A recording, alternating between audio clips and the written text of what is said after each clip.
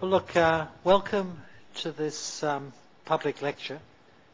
We're very fortunate to have uh, Valerio de Molli, I hope my pronunciation is um, a managing partner of the European House, uh, Ambrosetti. He, he told me he's, uh, he's just been in the region, I think, for an event in China. Yes, in Jiangsu. In Jiangsu, uh, China. He's going to be talking today about improving European competitiveness and uh, integration, and in so doing, I think sharing with us uh, some of his uh, thinking in this this area. Um, Valerio has a, uh, a, distinguished career in terms of his current position, where he's he's been, I think, since 1999 He's the author of uh, several books, and uh, as I mentioned, he's going to be talking about this observatory on, on Europe. I guess that's the uh, terminology. So, look, uh, thank you very much. Um, I think the format we're going to have is a, a lecture for perhaps around 45 minutes or so, followed by questions. But apparently, you have the right to ask questions at any time. And I think the material looks uh, extremely interesting. So I hope we have a very interesting and uh, frank uh, public lecture. So thank you very much. And thanks for in inviting, having invited me here at the prestigious Singapore University to share with you our views about the topic, the European competitiveness. Professor Mahbubani, who's used to uh, cooperate with us in Europe, uh, uh, last September told me that the university mission is to open up more and more to the European exchange of programs, to the European experience as well. in Europe, we look at Asia as the growing star to solving future economic problems. So we are, we are coming here with uh, uh, uh, an approach oriented to learn, not to teach. And we are very fascinated about the growing and exciting atmosphere that we can smell throughout all Asia. And as Charles was saying before, we have established since now three years in the Jiangsu province near Changzhou Liyang, you know where Liyang is? It's a small lake, Tianmu Lake. You are from Jiangsu province, so you know it very well. We established that there uh, for the willingness of the regional government, an international gathering of uh, European, Italian, and Chinese experts to uh, share views and discuss about not only joint venturing and business activities, but uh, overall issues of cooperations. So I was a speaker at that uh, gathering uh, together with other experts from all over the world. And uh, I decided to accept the invitation of Professor Mahbubani since he's almost on, on, my way back to Europe. It's not exactly on the route, but uh, I, I accepted with great pleasure his invitation to be here. And as Charles anticipated, I would rather prefer to have an interactive uh, discussion rather than a long presentation of slides and facts and figures to bore you too much. So that is the topic, and uh, uh, let's enter. Uh, let's enter into it with more uh, deepness. Um, few considerations. First of all, about us. What's the European House Ambrosetti? Just for the ones among you who don't know it, there is, of course, the website. You can see uh, www.ambrosetti.eu for Europe. You can see all the information about us, but I would like to underline a few, few aspects of our business, of our firm. A few considerations about the current, the current outlook, which helps us in uh, giving the framework for our discussion, and then I would like to present to you this project which started a few years ago, Observatory on Europe, which is an advisory board founded by large multinational companies, among which ING, uh, General Electric International, which means everything GE has outside the US, Cisco, EMEA, and Suzuki Europe. So those leaders wanted us to create an advisory board with other experts to discuss about this matter, about the competitiveness of Europe, which is not an entity in itself. Europe is made by 27 member states. And so you need to be aware that when you talk about the competitiveness of Europe, there is not only one language, only one money, only one group of uh, rules of law. There are 27 different states, each one of them still with their own independency, with their own autonomy, their own legislation, and their own political life. So uh, Europe is a concept, it's more a theoretical concept rather than a practical concept, but I will enter into more details. I see some European face as well here. What I like, or, or, or maybe Western, I don't know whether they are European, they are American, Australian. French, so one European, two Europeans, maybe a few more. So uh, that is the background. Uh, about, about us, we, we are a, a, company that has been founded in Italy. And we still maintain our headquarters in Milan. We are around 200 people at the moment with offices all over the world. We have 15 people in China, our second, our third largest office is Spain with 10, and then in the other offices we have a, representation uh, very often with local companies from North America to South America and, so on and so forth. We are not in Singapore yet, uh, and we, we, may, we may decide with someone of you to start up a business nobody knows. Um, this is the structure of the company. I am one of the partners and the chief executive officer of, uh, the group. Uh, we, have uh, Ambrosetti Stern Stewart in Italy, which is doing business in the value-based management. The Ambrosetti SPA, which is the holding company. The group limited in London, as I said, Spain and China. K Finance, which is an advisor, advisory for corporate finance operation, mainly in Italy, and the other offices, as I mentioned before. Basically, we do execute three businesses. One is the management consulting, like McKinsey, for instance, just to give you an idea of who we compete with. Another one is top executives, education and briefing services, where we have more than 2,000 lecturers from all over the world, experts from all over the world. One of them is, for instance, Professor Mahbubani, uh, and many other, Professor Cheng Siwei from China, and Steve Roach from Hong Kong and many others also from the area. Um, and then we also have research, studies and forums as an expertise, which is basically think tank groups, advisory boards, and one of these examples is the Observatory on Europe that I will present to you uh, with more detail in a moment. Uh, that is the basic framework, the basic map of our activities uh, and this is the industry focus that we try to follow. But I don't want to bore you with too many details about us. As I said, you can look in our website and you find out everything else. Uh, I start from this consideration. Uh, today, science and technology are going at a speed which has uh, not any uh, comparison with the past. Uh, you think about the fact that the human being went on Mars in a few months, in a few years, sorry, when it was supposed to last years. Things about the research in science, in medicine, not to mention about ICT and all the boom of technological developments that we had.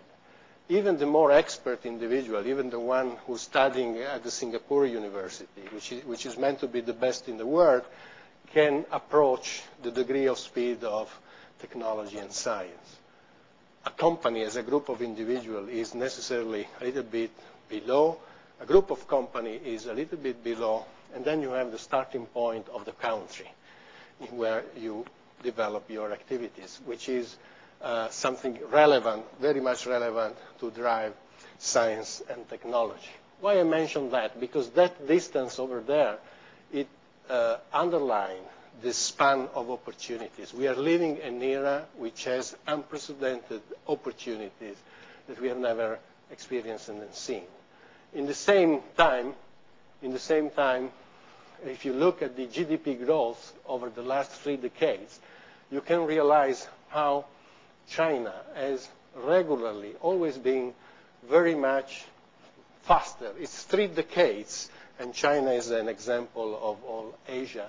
Uh, I haven't put, I haven't plotted the figure for Singapore, but you can see how faster China in the last three decades went. And uh, as a matter of fact, particularly in this situation of crisis, you see the figures for, the euro area and from the United States is giving the, the relative distance with China at the maximum ever in the last three decades. Uh, that is one important point that we have to, we have to keep in our uh, discussion as a very clear standing, starting point. Another one is that in absolute value, the EU 27 still remain the first macro areas in terms of powerful, in terms of percentage of GDP uh, in the world, much ahead than the United States, as in fact, in fact, despite the recession, we are even gaining space, as you can see.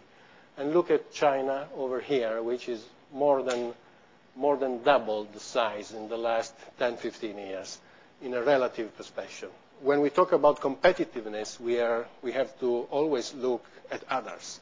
We compete with others. We are against someone else. Uh, you may know that the etymology for strat strat strategy is from the Greek strategos, which means to manage the army. So there is this concept of war into the matter of strategy is in the etymological deep root of it. And look at Japan, how deep is it, is it withdrawing? The manufacturing capacity worldwide is showing signs of unlimited uh, decrease. And that's why the, recession we are living now is very much deep and structural. We are not experiencing a conjunctural short-term recession. What's happening nowadays is uh, giving roots, deep roots for profound and deep drastic changes. Take, this, is, this is the example of the automotive worldwide industry. Uh, the uh, capacity, the saturation of the production is only two-thirds of it. And in the world, we have uh, about 30 million units that we can manufacture, but there is no demand for it. Despite the entire push of the demand that all the governments all over the world are doing, which is not necessarily the right things to do. Just to give you an idea, the entire Italian market, just to take it as an, uh, example, is 2 million cars per year. Germany is 2.2, France is 2. So you see how big is the gap uh, today. So this is just one example. I don't see any industry, particularly manufacturing industry, where you do not have a deep, excessive manufacturing capacity today. And you cannot avoid to consider that when you look into the competitiveness aspects. The employment trends. Look, the loss of jobs in the manufacturing sectors. This is just the US. And this again is showing you how deep and unique, once in a lifetime, is the uh, 18 months that has started 18 months ago. It's uh, unique in history in terms of uh, fast and deep, profound change. Uh, it's, unbelievable. Consider that the yellow line there, it's the line uh, uh, above which you start growing uh, with, with employment. So if you are, if you are rebouncing like, like that, but if you are below that line, you are still losing jobs. You lose less jobs than before, but you are still losing jobs. So look here. It's an, an unbelievable situation, once in a lifetime. If you consider, I don't have it here in the presentation, but if you consider the impact in the service industry, is again showing this specular effect losing jobs even in the financial sectors, particularly in the banking sector and particularly in the Western world. Please, in any moment. I mean, it would seem to me there's at least two aspects to that uh, type of chart. One is the, the trend changes in employment. And in an economy like the US, the share of manufacturing in the economy is shrinking in terms of GDP, in terms of employment. And then on top of that, you have a business cycle. So you have, you know, exceptional losses during this current downturn. But I mean, isn't the ultimate path the path you expect to see? I mean, that you're basically this sector is going to continue to shrink and the economy will increasingly be generating employment in the service sector. I mean, it, but isn't that good news? Well, I don't see at the moment uh, a generation of new employment. In the service industry as well as in the manufacturing industry, we are losing jobs and we are continuing losing jobs. As a matter of fact, the unemployment uh, in the U.S. is still growing. We are now 10% of it. Yeah, but that's the cyclical element, it's superimposed on a trend. And, you know, I would think for the longer term kind of issues about business opportunities and thinking about the structure, you would kind of factor in, in a sense, that this is a, a path, which is, you know, it's the U.S. has followed for the last 30 years. The share of employment in manufacturing has come way down. And I think that's inherently something you would expect to see and is, is a reflection of the fact that countries like China are able to supply manufactured goods at you know, much lower prices. Yeah, well, that's an interesting uh, point. But uh, uh, even today, the Western economies, or among the Western economies, you still keep a significant weight of manufacturing. And you take uh, the, the, three largest of it being Japan, Germany, and Italy is the third largest manufacturing uh, presence in, in, the Western, among the Western economies.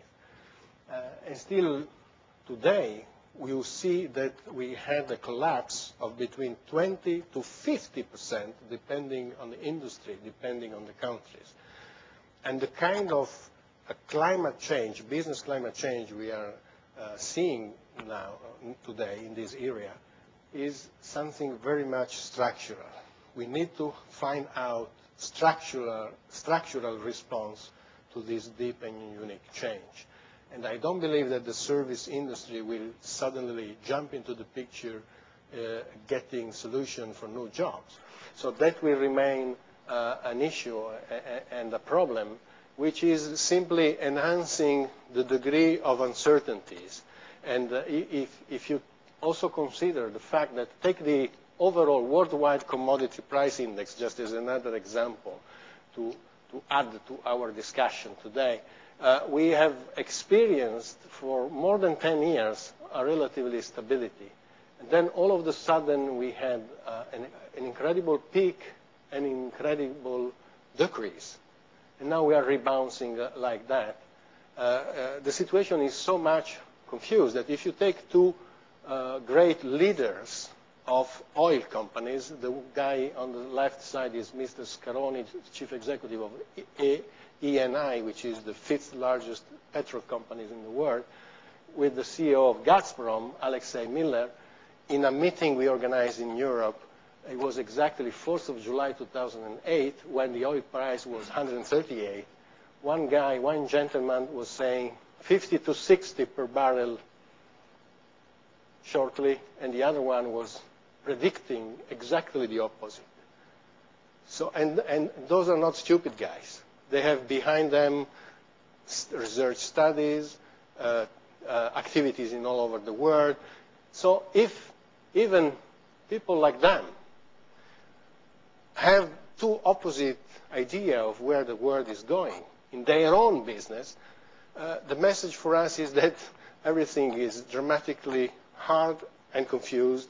We have no uh, recipe, we have no solution for issues like those but we have to be fast. We have to be dramatically rapid to adapt our strategy uh, and our understanding to the outside, the outside world.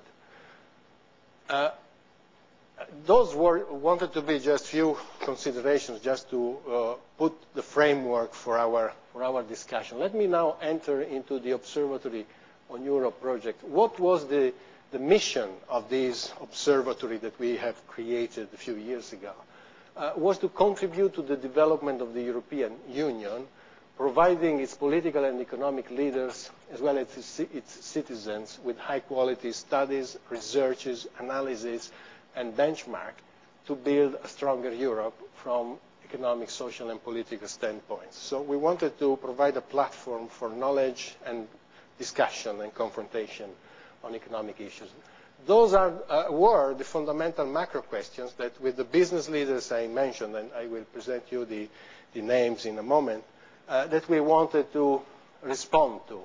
Uh, when we started was 2004, we had the impression that even in Europe there was not enough perception of the strength of Europe, of the possibilities of Europe, of the opportunities for Europe. That was much before the economic and financial turmoil and crisis that started with the failure of Lehman September 15, 2008. Um, so uh, uh, we wanted to uh, face those questions and to offer an answer to all those macro doubts. Methodologically, we had this advisory board. I will tell you in a moment who participated to it. And we wanted to um, analyze facts through competitiveness profile, convergence profile, and speed profile. Why convergence? Because, as I said before, Europe is uh, an assembly of 27 different member, states, and we have agreed through the treaties, through the agreements, we have agreed uh, on a convergence path. We have agreed that on certain macroeconomic indicators as well as on certain KPI, uh, we were supposed, as 27 states, to converge in the same area, in the same dimension. And so we wanted to, me to measure that. But we also wanted to measure the degree of speed, the degree of uh, uh, how fast different member states were in that uh, process. Opinions, survey with the business leaders, targeted interviews, etc., and then proposals to the European Union. We had uh, normally every year we have a, a, forum in Brussels to the Parliament, to the commissioners in charge, to the business community as well. So the founder of this observatory were these multinational companies here together with us, and uh, the activities were basically the forums that we did in Budapest and Brussels and the final report. We are still going on with this process, which has been uh, highly appreciated by the European Commissioner in charge of economic affairs, which is uh, uh also a sponsor for it. Was, it was, he was Almunia. As you all know, we are about to start with a new European Commission in a few weeks' time. These were the members, the members from Mario Monti, president of Bocconi University and former commissioner, uh, to Peter Medgyessy, uh, former prime minister of Hungary, Riccardo Illy is, uh, uh, apart from being chairman of a coffee company, one of the leading coffee company in the world, he was also governor of a northeastern region of Italy called Friuli Venezia Giulia, northeast part of the country. Uh, Mitja Gaspari, Minister of the EU Affair for Slovenia, Vladimir Dlouhý, he was formerly Treasury Minister of the Czech Republic, and the former Vice President of the European Commission. This was the group of people that participated with us in the uh, analysis and in the work. And on the business side, uh, uh, these other players from the multinational companies, plus us. Uh, the, steps, uh, the methodological work, since we are in an academic uh, compound, I think it may be relevant for you to have a deeper understanding, understanding of what there is behind the rankings and what there is behind the, choice of the KPI. So the methodological work was, uh, is summarized in, in these steps the three profiles that I told you, competitiveness, convergence, and speed. Uh, the four new Europe, as we call the countries, because those countries were annexed to the European Union in 2004, so we wanted to have an understanding whether this was positive for those countries or whether that was negative. Uh, there was no clear indication, so we wanted to, to study it carefully with the facts. The areas of analysis that we have chosen was innovation, human capital, energy, and then the new Europe focused, the survey of the business leaders, and then the recommendations to improve the EU competitiveness and the integration process. Uh, that, was, that was the planning, and then we had to accept a change into the format given the economic crisis that started after the process of the, methodological process of work uh, uh, was, was uh, uh began. let's enter into the competitiveness profile. So in this profile, we, we have chosen the so-called core countries of Europe, I mean the most relevant ones in terms of dimension. And we have taken Japan and US as two counterparts, but we have also included in the analysis Turkey. You may be aware of the fact that Turkey has made uh, a request for accession to the Europe, uh, to the European Union with a great deal of discussions. There are countries, particularly France, which is particularly against it, Germany, who is rather against and in the middle, and other countries like Italy or UK, which are more in favor of the Turkish uh, access to Europe. So we, we wanted to have also an understanding on this part. We are not covering it today, but uh, that's just for you to know. Um, so that was the choice we made uh, among the uh, 27 member states. And the whole structure brought us to identify, together with the scientific committee, uh, 76 key performance indicators that were structured in vision area, sub-vision areas, macro item, and then single KPI by KPI. Uh, that's the methodological background. I will try to give you an example in a few minutes. Um, then we have uh, uh ranked those KPI, that, that tree of KPI, from the less performing to the best performing countries, from 0 to 10, in order to have a, a rank in which to position the different member states in an overall picture. Uh, this is the, the structure. Uh, we have chosen those uh, vision areas inside Europe, which weighted for 70%, and outside Europe, uh, which weighted for 10%, external trade and investments block uh, as sub-vision areas. Education and innovation, we had uh, sub-vision areas. Business, 30% of it with different chapters, labor, bureaucracy, taxes, raw materials and enabling technologies, finance, state control in the economy as macro items, welfare, people.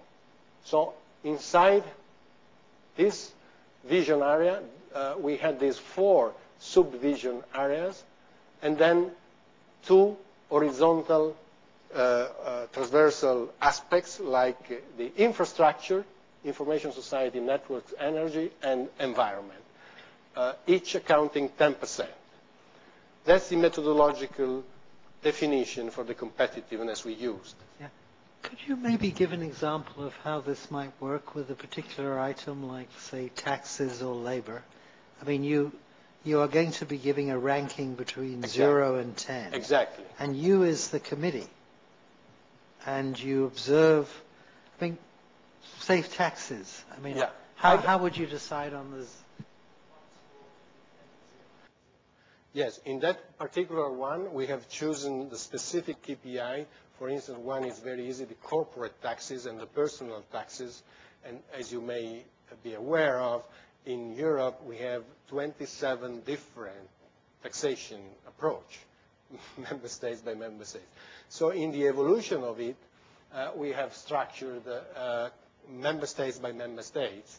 And the, the, the, better is the tax environment, and the better is the score. I, let me give you an example uh, with the business side, just for you to have a better understanding. So that was the overall picture of the methodological approach in the competitiveness of Europe. Inside the business uh, uh, area, which is this one, this 30% of it, right? Inside the business area, this is this, the definition, labor, bureaucracy, taxes, etc. Inside taxes, it, we counted it for 15%. Corporate income tax rate was 50% of it. 10% rates of value-added taxes, general sales taxes, consumption taxes, and then the employer's social security contribution, 40%. That was our choice inside the taxes. So you can see how the trees develop, area by area, sub-area by sub-area, and down to the single KPI. Just to give you an example in overall productivity, uh, just as an example of it, that is the GDP per person employed in US uh, dollars, which is this KPI here inside the labor area, which is counting for 30%. So it is highly modelized, you see. So I'm now picking up this KPI the overall productivity measured by these indicators. As you can see, those are all the European countries. Uh, you can see in the yellow line the non-European countries. As I said, we wanted to have US, Japan, and Turkey for the reasons that I have mentioned. And you can see, I hope that you can read from behind. Uh, you have, for instance, Germany, Italy, Austria, Netherlands, Spain here, and so on and so forth. You can see uh, 0 is Turkey, and 10 is France. And the, because we limited to the core Europe, and so the other European countries which are out of the core Europe can score more in a relative distance to the best one. That's the way we did it. On, um, I mean, you've got some objective indicators, but if you go back to the previous slide, I noticed, for example, state control gets a weight of 10%. Um, how did you arrive at these weighting schemes? I mean, where do the numbers come from? Well, that's also that's a very good question. In order to arrive to that choice of indicators, we had to be consistent in terms of source within that uh, number of indicators. Uh, so we, used, we, have used an enormous number of sources from the OECD to the World Bank, uh, from the European Central Bank to the European Commission itself, uh, and so on and so forth. But that, that's the raw ingredients. I mean, I, you're constructing an index and you're going to weight these things. Yes. I, I'm wondering where these weights come from. I mean, let's take state the, No, the choice of the weights was our qualitative decision with the advisory board made by business leaders and scientific committee experts. So that was, that was our decision. That, that's a subjective decision. Exactly. I mean, just out of interest, why would state control have a weight of 10%? I mean, if you had a heavily regulated economy, I would think that might influence many features of its performance. You know, yeah, that's, uh, that's a, a, choice. But yeah. given, given, the fact, given the fact that we had to take into account all, all these group of indicators, you know, uh, in our opinion, mm. that could account for as much as 10%. That was our qualitative decisions could, uh, uh, uh, we could have put 20 and 5 and 10. But then someone could have, would have said, why you count finance for 5?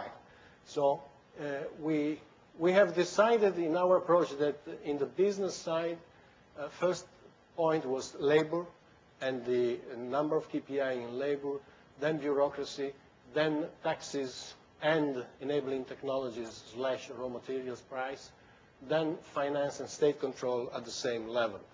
That was our uh, decision within the 30% of the business weight. You see? So this is uh, the way we have uh, decided to weight the different indicators. You, you may say uh, this should be a little bit more, this should be a little bit less, or vice versa. Uh, that's true. But the, the, the, fact is that having modelized it, you can change the ranking and the analysis by, uh, uh, by deciding all these changing. But the group of business leaders and the scientific committee we had, uh, we all decided that that was the appropriate decision to have. And uh, of course, I, am oversimplifying now, but we have had uh, hours of discussions even for the single KPIs, because you could have chosen others. But we have decided and agreed on those overall 76 KPIs that we have regrouped in those matrix of sub-vision areas, vision areas, and macro uh, overall vision. But you're right. I mean, we could have decided differently. So to go back to these indicators, that gives you an overall size uh, the, the comparative dimensions are, are allowing analysis in the absolute performance evolution as well as in the relative performance uh, position evolution, which means you can look in absolute terms how you're going compared with the previous year, but you can also see you may go very well compared with the previous year, but if others are doing extremely better, you are losing competitiveness despite the fact that you are doing better yourself. So we wanted to uh, uh, have both aspects under control. So the first one is the absolute evolution. And you can see in uh, the other strengths of the model is that the, the, the, the visualization of it is really uh, unique because in only one page you can have an overall picture of the, the overall situation where yellow means stability, plus or minus 5%. Red means you are doing worst. Uh, green means you're doing better. So that's the example for Germany, for instance. And you can see how Germany, just to give you an example of this, is doing uh, relatively better in education and innovation, with all KPI stable and three better but is doing much worse in business, where two for six KPIs are doing worse, and few others better, and so on and so forth. So in, the overall picture of Germany, for instance, you have 32 improvements, 31 stability, and 13 uh, recession, going backward which is not a statistics in itself. This is the basic, the basic for having the good understanding to have then the policy actions. Is the basis to say this is the picture, the overall picture of the situation, and we can do that member state by, by member state. This is the, the strength of the methodological approach. And then, uh, in terms of education and innovation, just as another example of representation, so you can have a look into the single country as before, Germany, France, Italy, and so on. Of course, I'm not showing you all detailed analysis country by country, but just to give you the overall message. Or you could, you could have a vertical understanding for that vision area, in this case, education and innovation, how different countries are going in that particular vision area. In this case, uh, Japan is, is, is doing a lot of improvements in this. When I say improvement, the case was 2007 against 2005. So it was that span of, of the analysis. And France is doing the worst, only two improvements and two decrease, seven stability, and then upwards the other countries. So you can have, in terms of competitiveness analysis, you can have a full picture, country by country, or vertically, vision area by vision area, and this is the example of education and innovation. Another way of looking at it is to have an overview in terms of countries' absolute performance and to see them all together in terms of performance. you can see how Spain did it relatively better uh, with this approach, Germany, and then Italy, and so on. Uh, United States has shown signs of uh, decrease in their competitiveness. This, is, this was before the start of the economic crisis, so what happened later could have been uh, worsened in significant way uh, this, approach.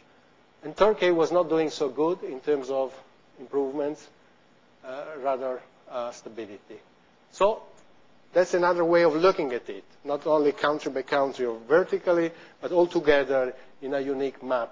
Only one page, full analysis and full detail. Uh, just to give you an example of the relative position. Now we have seen it on, uh, uh, on the side of the absolute values. Let's enter now into the competitiveness profile relative to each other. Again, the methodological approach was the same. This is the overall pictures, which is putting US in this position here. Uh, Finland is the best competitive of the member states. Denmark, UK coming third, and then you can see all the others down to Turkey, Greece, and Italy in the third last point. Uh, and that gives us an an, another picture of the information is in relative terms where all different countries are positioned. And you can see the Nordic approach as a winning approach in Europe vis-à-vis -vis others, vis-à-vis -vis the southern, for instance, or the Eastern European approaches. The, the differences are remarkable.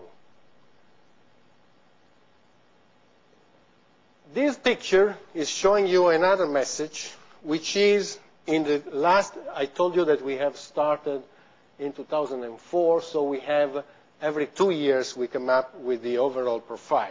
So if you look it in perspective, 2005, 7, and 9, of course we, we didn't change those, those relative weights. So we fixed it at the very beginning and we are keeping it consistently. Otherwise, we would lose the meaning. So you, you can see, like, for instance, United States has decreased their performance even before the economic and financial crisis uh, took place. They lost 0.30 uh, Uh, points of margin in, in this index. Germany is picking up. Japan is picking up. France is highly stable.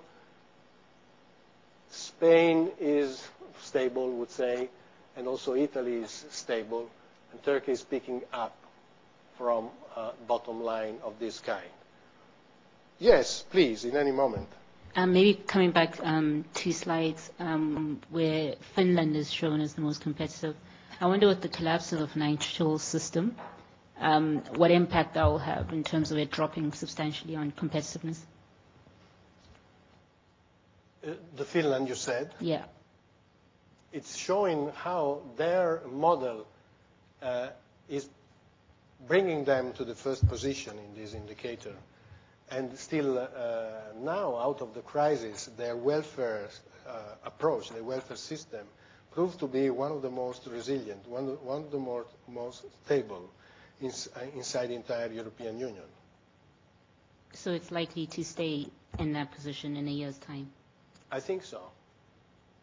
Okay but I have not the figures of 2010. Uh, but uh, uh, in this in this sense, you see, it's the distance, the relative distance to the others, is quite remarkable.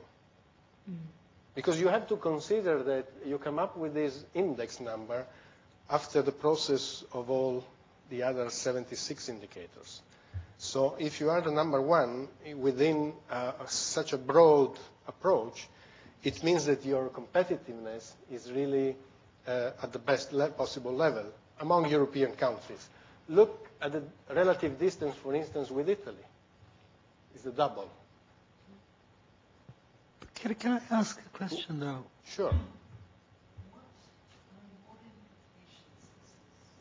Uh, number have? I mean, is it, would one say that Finland in some sense is going to perform better?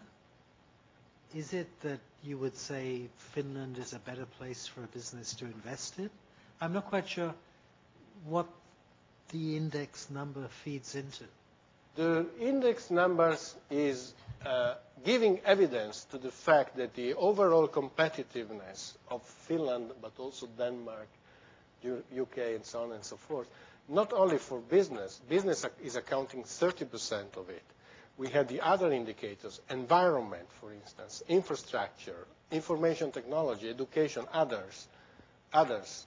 So Uh, this is giving evidence in a relative way, as well as in absolute values way, that the Nordic European model is you know, giving evidence of the fact that those countries are doing better in terms of competitiveness, in terms of overall results within that group of indicators that have been chosen. But I mean, if a business were to look at this, I mean, let's, you mentioned the, the welfare system in the Nordic states, which if you're living in those countries is a great thing, presumably. But if I'm an international investor, it's not obvious it's going to be a great thing for me. I mean, I'm, sense, you're, you're validating your priors. You think a welfare system with a certain structure is a good thing. You weight it 30%, you come up with a high rating. I mean, I'm, I'm not sure. Well, again, that's not, welfare is just 10% of it. It's just 10% of it.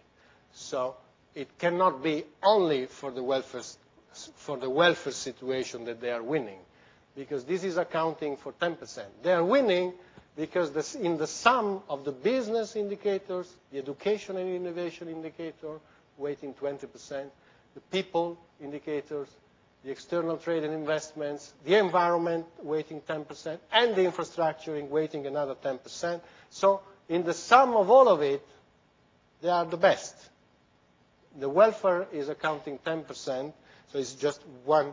I mentioned the welfare because that is the, first thing that come up to your mind when you think about the Nordic model differences, but they are very much ahead in education and innovation. We see we have few data on R&D and on the quality of the education systems. They are one of the best. They are one of the best in terms of people, mobility, citizen security, and demographic structures, the areas that we have been choosing they are among the best in business, etc. So it's a sum of everything. It's not just one single specific. That is the strength of it, because it's grouping together all different KPIs. And the final output is the one that we have seen. Please. Related. So um, would that make sense to regress your results on the FDI in each country and see if, it's, if it makes sense. So Finland would attract most FDI, and then you would have Denmark and then United Kingdom. And then if it's not the case, then maybe there's a problem in your index. Or FDI is not your measure. Your FDI is inside that group of people we call outside Europe. So we are, we are accounting also the FDI attraction. That is important. We have counted for that weighted uh, sum that you have seen. So the, uh, uh, it's one of the interesting aspects that you have to consider. Again, not the only one. What are you trying to do with this competitiveness profile? Is to give a policy recommendation for the governments, or to say well, so it's not to attract foreign investors? No, foreign it's, it's a very good question, a, a good point. Uh, I should have stressed it before and better at the beginning.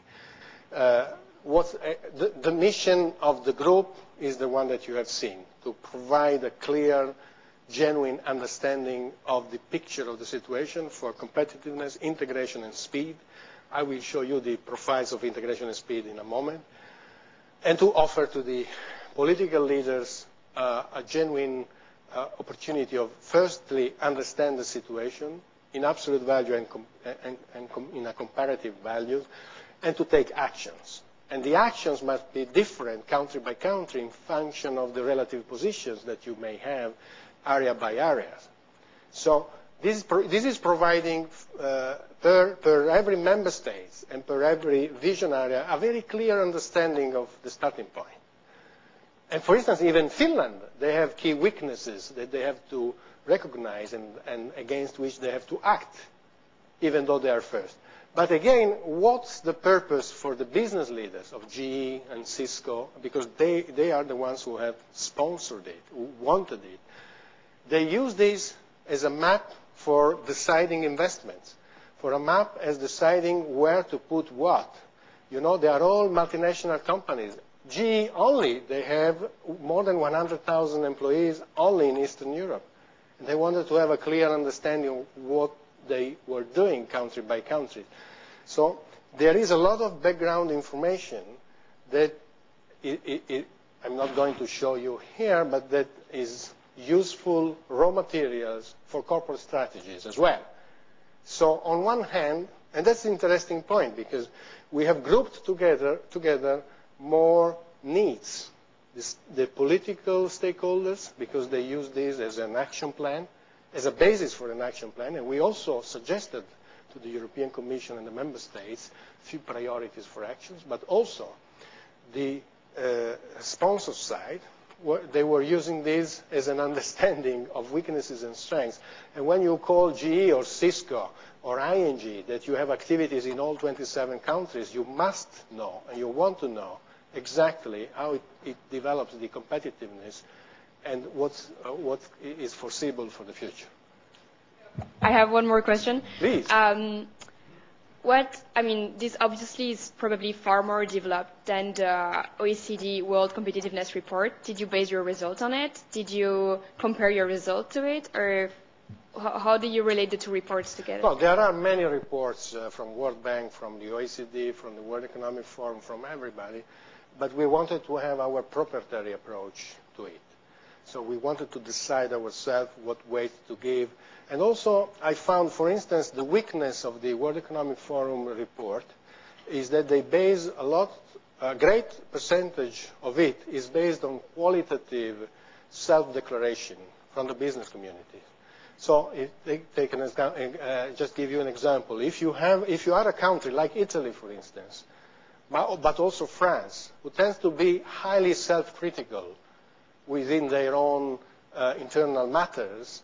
Uh, and you have another country like take Germany or US or others who, are on the contrary, who tend to be highly self-proud of whatever they achieve.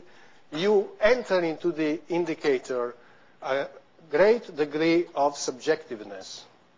In this model, it's just facts. The only uh, subjective aspects is the decision of the, weight, the weighted map that we wanted to apply for division areas, etc. Uh, but in the end, we used a lot of good sense, good business practice to allocate those decisions. It's criticable, of course, uh, but there is a meaning behind. So we, we, don't, we don't want to say that this model is the only way of looking at competitiveness across European countries but at least uh, it has a lot of plus and benefits, and I'm trying to uh, explain them. And then there are other models of looking at the competitiveness, of course, uh, but this is ours.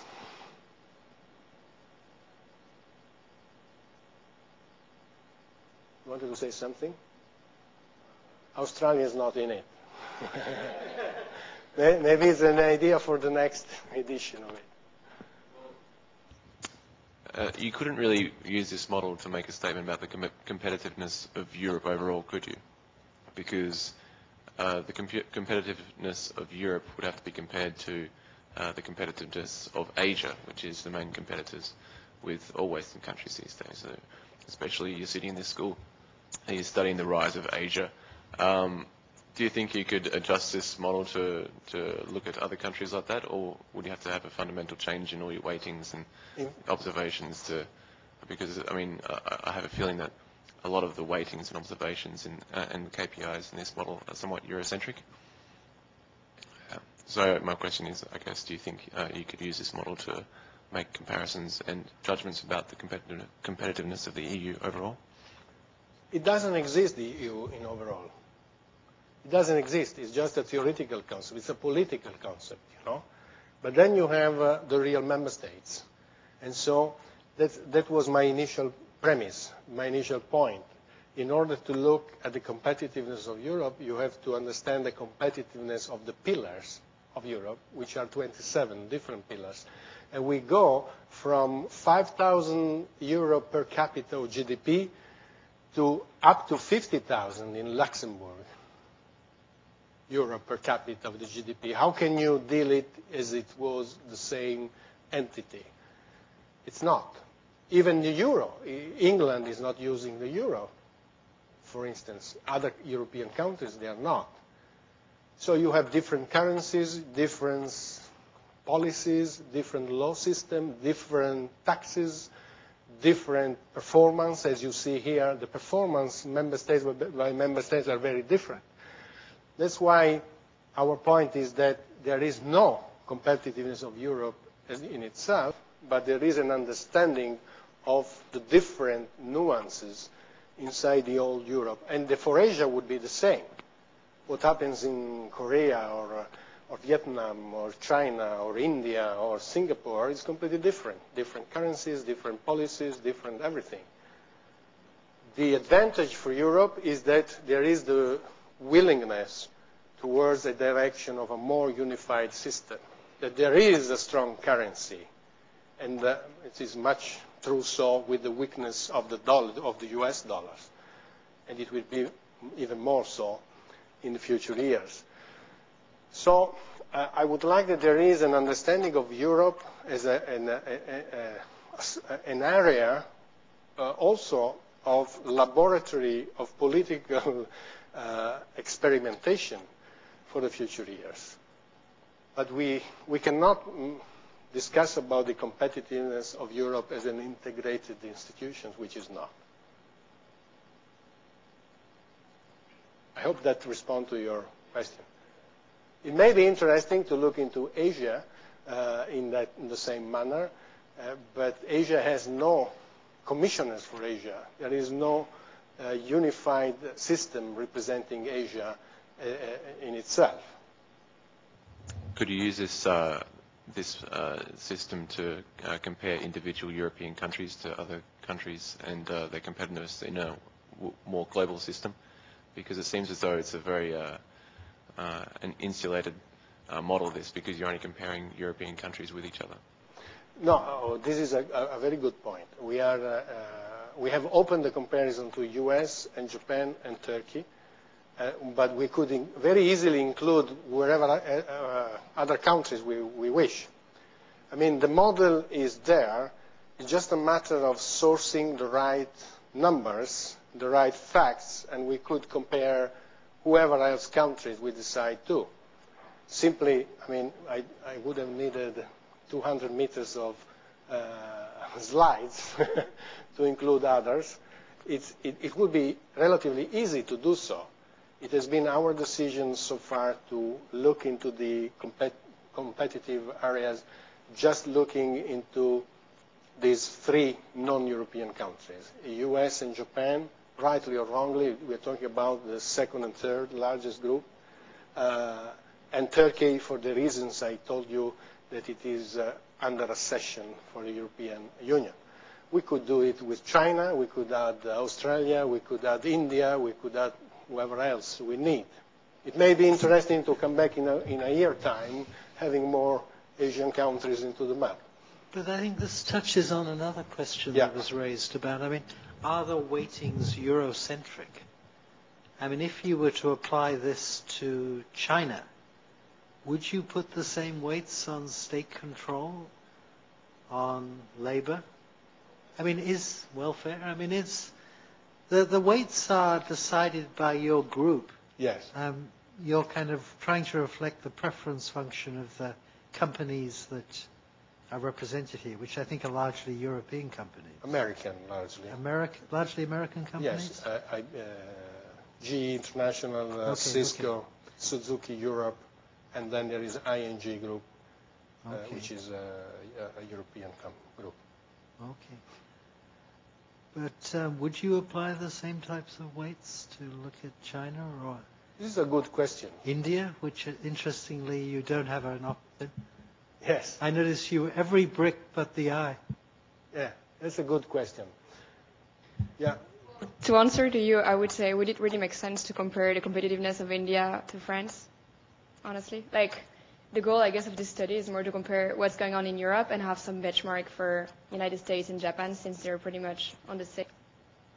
Well, that's how I guess to. Do you mean by competitiveness?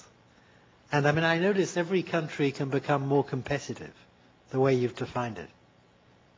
Uh, Am I right? Yes, it's right. Yeah. What, what, what is it exactly? Is it, is it a relative? Is it an absolute concept? No, of course it is relative to others because you compete with someone else. It's the etymological structure yeah. is to be in war. Yeah. Um, it's more an economic and theoretical war than, fortunately, a practical one. But it is against or vis-à-vis someone else. And uh, our definition of the, of the competition is to find out uh, six simple questions to very uh, simple, uh, uh, simple answer to very simple questions. I mean, you should uh, answer why a company is ready to invest in your own territories or in other territories, where a company who is already there is not eager to move away, why a student is willing to come to your territory to study, why a talent is attracted to work in your territory, in the companies of your territory, to work, why a tourist should choose your country to come and have tourism and enjoy himself, why a taxpayer, that is the, the sixth layer of the competitiveness approach, why a taxpayer should decide to stay there and pay taxes in that particular territory and nation, and not rather in, in, in others. So that is our definition uh, of it, all of this background is providing not only the picture, but also the food for thought and for action to the corporate world, and that's why the major multinational companies are participating and they, and they invest in having this understanding, but also to the political leadership of the member states and of the European Commission, because that is our perspective. We are driven by that angle. If we would come to China, that would be interesting, but probably it would, the, comparison would, be, would make more sense either through the BRICS country or through the Asian countries. And maybe you are perfectly right, the, choice of the relative weights, maybe even the choice of the specific KPI may be different because that is done in function of the reality of the facts of that specific moment, which is not comparable, as lady was suggesting before, uh, uh, to the situation in France, for instance. Yeah. Can I ask you, we, we've got about 10 more minutes. Can I ask you a practical question? Given the large number of indicators, I mean, this is a major exercise, updating this data and making these judgments within little boxes about, you know, what's happened on taxes, etc. Um, is it possible to kind of, and particularly if you were going to expand this, is it possible to kind of reduce this down to a much smaller set of variables? Because this seems to me like a very You have a question? Um, yes. Um, I, I find that your, your weighting, for example, on people, you only uh, allot 10%. But in fact, uh, the, uh, um, the long-term competitiveness, as I see it, is the uh, demographic decline uh, in uh, European countries, especially in Italy and, Germany. Um, how you address the called the long-term competitiveness of Europe um, when you mentioned about the called the statistics on uh, manufacturing, because the demographic trend is uh, closely related to, to the manufacturing. Uh, uh, in Italy and in Germany, you know, you see um, um, the um, population is going, you know, growing year by year. And, you know, this is, you know, the experience, you know, when I work in, London, you, can find that, you know, the, the weightings you, allocated to people is, I would say, is underweight. Of course, you know, your other uh, weightings, you know, on, uh, say business, you know, and uh, um, welfare or on the um, um, um, governments.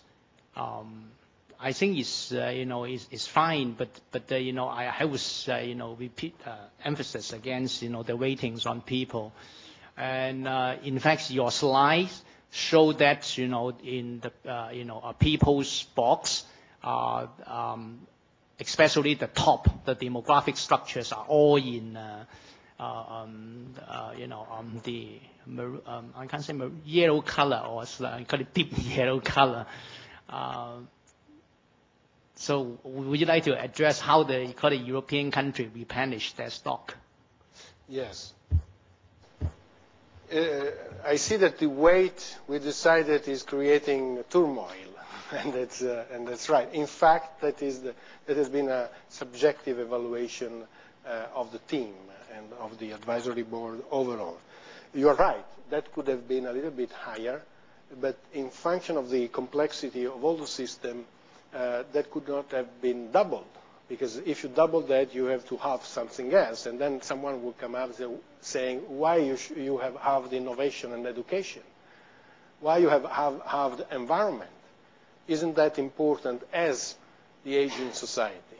So it's always an overall balance. You have 100 points to allocate, and then you have to uh, consider a quite, a, broad and sophisticated map. Uh, it may be a few points more, you're right, uh, but not that much more in, in, consideration of all the other aspects.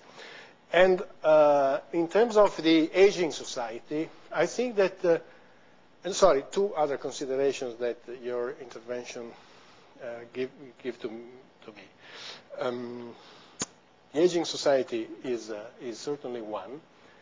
Uh, and um, on this matter, I think that there is an excessive worrying because you, someone has to explain to me why an aged professor or consultant or manager or service person is not of even greater value after when he is retiring. So if we think in the old mentality, when you arrive at a certain stage and then you go in retirement, you, sit down and you wait your pension system to pay you, I think that th this in few years' time will be completely changed. We have to put the aging society back to the picture and to extract the value they can give it, they can give to the community. Uh, that is not the same for the mining people, who fortunately are a little percentage of the overall employee employment system. That may be the case for the very, very hard work, which fortunately are the vast minority of all the, work the workers. So this matter of the aging society is more a short-term, short-minded uh, approach. It is a worrying factor at the moment because with the rules of today, it will be a disaster. But we have to change glasses and we have to look at it differently. This is one of the key messages we gave to the Commission, for instance. Eh, we don't need to solve the problem of the aging society having in mind the last decade's input Today, scientists has shown, and we have uh, also a scientific committee on science in Europe, has already demonstrated how the life expectation today could be up to 120 years. So can you imagine? If you have 120 year average life expectation, it means that someone would live 140 years. And you go in pension in, at 61, 62, 63, depends on the countries. I do not know about Singapore. What's the retirement age here? I retire, it will be 65. 65. At the moment, I think it's 62. Why should, why should it be 65? You have to work until 100 years. And you have to give value to the community for the experience that you would have got. I, I realize this is very strong. The, the unions of the world would be very much against. But this is a fact. There will be no solution other to see the aging society as an opportunity. and not as a problem as, as it is the case today. Uh, that's just a comment I want to make about the competitiveness of the future. That will depend on the inputs for the future. So I'm looking at the present because what interests me is the actual picture in order to take the right decision to modify the future. If you project towards the future the same rules and expectations that you had in the past, you arrive with something either sad or uh, disastrous. Okay. Look, I think we've only got about five minutes more, so would, would you like to maybe sum up and then we can open for a couple more questions? Our time constraint, I guess, is 6.30. Very good. Um, very fast. I want to show you our speedometer about the speed, which we are very proud of, and uh, I'd like to have your challenge on that one too.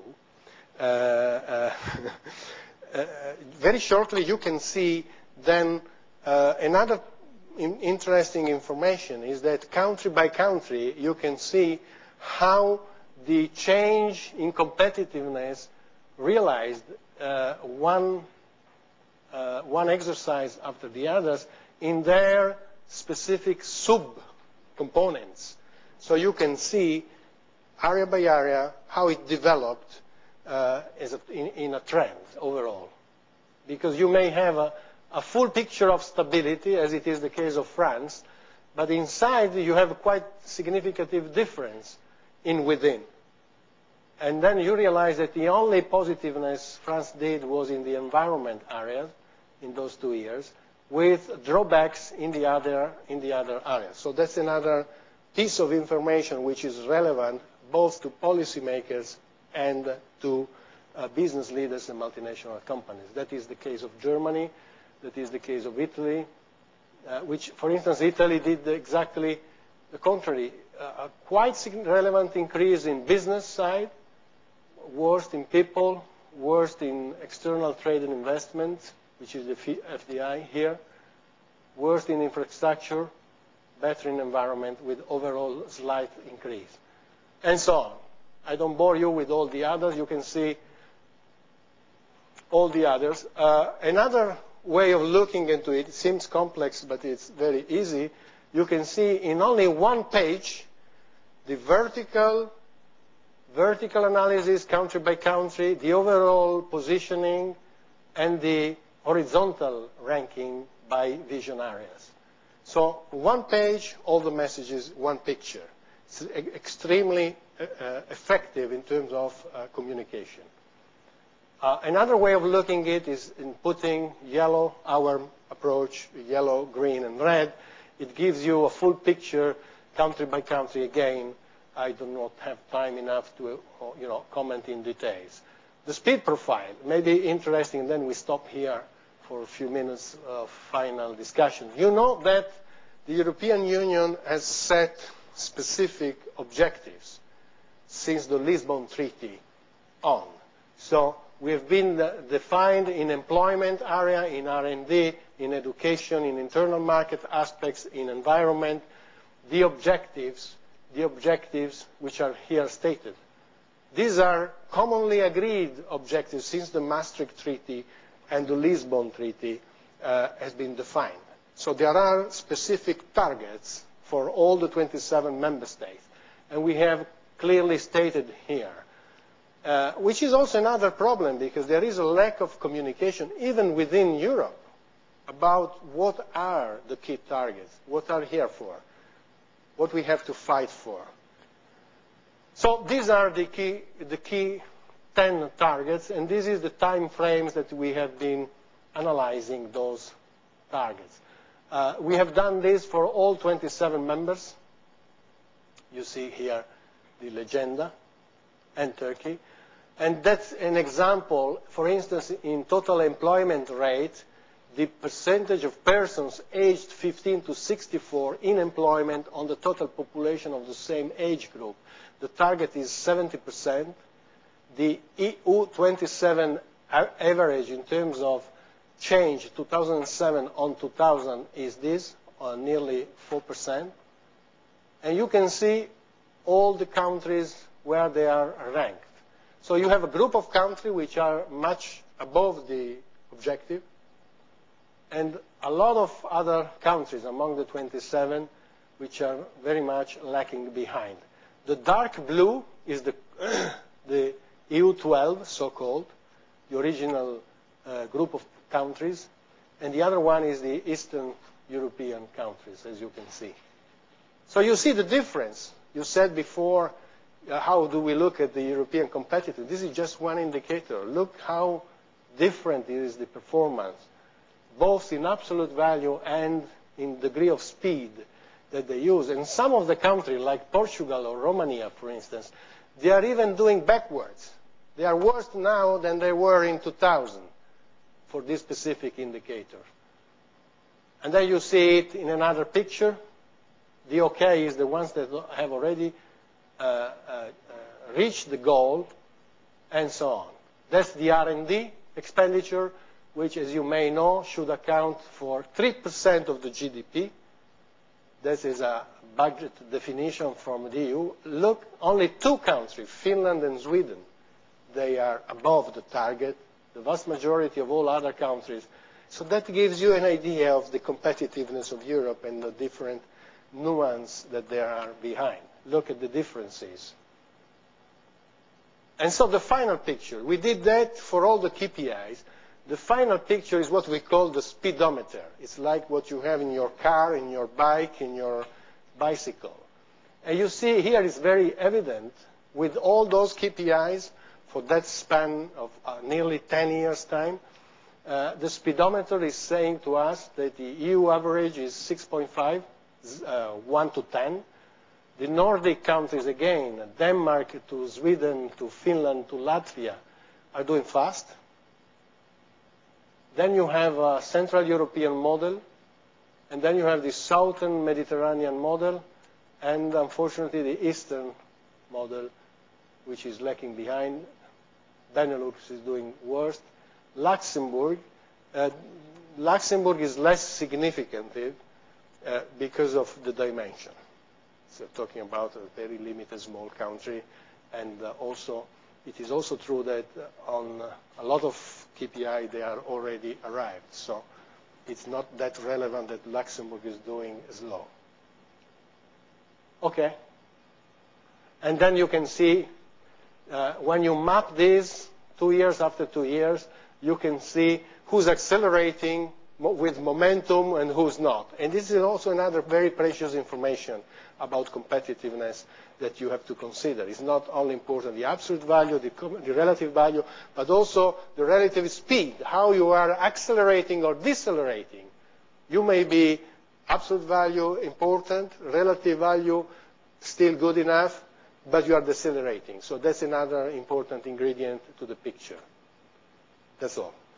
Okay, well, look, uh, thank you uh, very much. I, I, think, unfortunately, we've kind of uh, overshot the uh, 6.30 uh, deadline, but I think this is a very uh, interesting, a very useful presentation. I think it's given a lot of food for thought, so maybe if we could extend our appreciation. Thank you very much. Thank you. I wish to all of you the best success in at university and in life. And uh, I have a flight uh, 11:45, so I have time enough also for extra questions, apart from the official timing that is set okay. by professor. Okay, that's very uh, generous of you. Um, well, look, sure. So maybe if anyone wants to raise any questions, or uh, maybe do it uh, bilaterally, is that okay? Please. Um, my question is regarding the the kinds or the range of products that are being manufactured within Europe by the different European countries. I think to a large extent they are also different. So is there an attempt to look at the sectoral competitiveness or industrial competitiveness? It's a very good point. In fact, the focus, the focus for 2009 and 10 would be to look into the manufacturing uh, industries.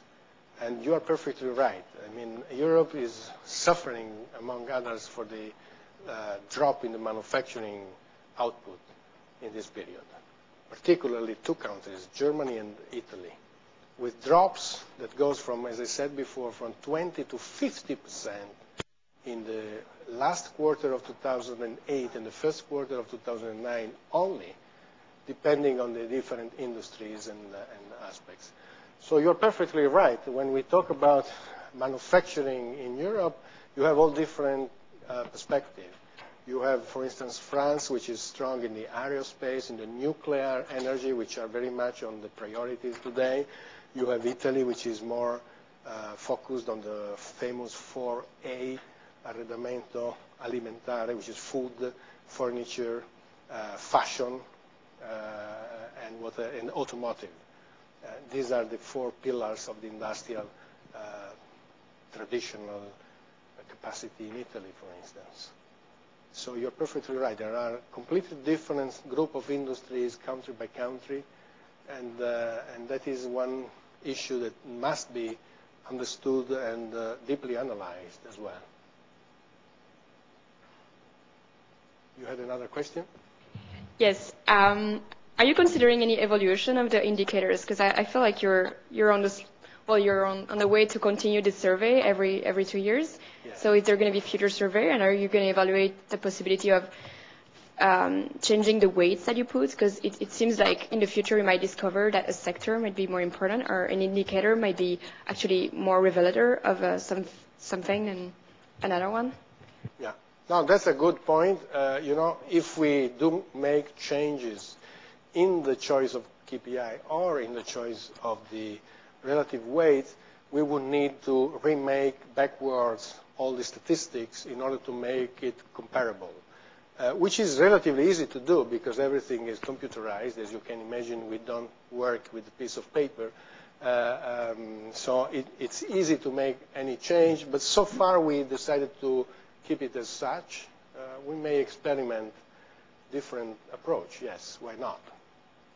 But it's not in the screen. Uh, the, the advisory board, the observatory in Europe is a, a is a permanent observatory which come, comes up with a report every two years. But we work, we continue working by, uh, in the dialogue and in the common understanding inside the group with the business leaders continuously.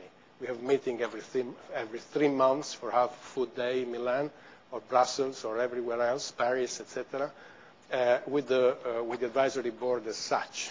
And so we keep analyzing aspects. We've been uh, facing now the issue of manufacturing, for instance, which, on which we will go out with a focus next year, 2010. And did you change the, the, the firms participating in the survey in, in terms of the evaluation? Because you, you said you had GE and um, Cisco and those kind of firms, but you might consider new important partners that are operating in Europe? Yes, sure. We can consider others. You know, those were the founders of the observatory, and since the beginning was part of the principle to have a limited group of companies, because otherwise everybody's bringing his own priorities. It's already difficult to deal with five. So our maximum was five, but there, there have been already a few changes because Suzuki Europe have been added last year and probably will go out because of the crisis in the automotive in the next year. So there is a little bit of change, which gives us also fresh, new perspective and and competence as well. Also in the advisory board there have been changes. We had Laurent Fabius, for instance, two years ago with us, uh, that you know very well, former uh, Prime Minister of France. So also in that aspect, we may have Jean-Paul Fitoussi this year, uh, this, next, this following year. So we, we have a little bit of rotation, uh, not exaggerated, uh, because of those reasons I said. Thank you. Thanks very much. Thanks to you. Have a good flight. Thank you.